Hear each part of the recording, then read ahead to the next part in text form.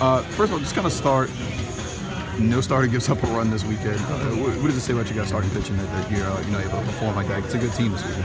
Right, yeah, uh, you know, it says uh, I guess, I guess we're pretty strong. You know, um, we got a real good defense behind us. We got Jake Rogers behind the plate, and uh, we got some offense this year. So it makes it a lot, a lot easier. But um, yeah, our starting pitching looking good right now. Talk about Jake. I mean, I, I think uh, Graf said something on the radio about he was, he's calling everything, and just talk about how much he helps you guys out. He's huge. He, arguably, in my opinion, I'm biased, but is the best catcher in the country. You know, uh, he completely eliminates any opponent's running game and gets you a lot of calls. So, um, so I feel about him. I mean, how do you guys obviously?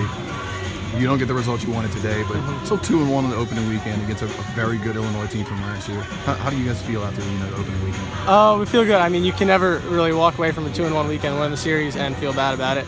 Yeah, we would have liked to win the last game, but uh, that's going to happen. You know, that's why you play the game. So you play nine innings. We only played seven, we would have won. So uh, yeah, that's how it goes. But I mean, I, I think overall we're pretty happy with two and one.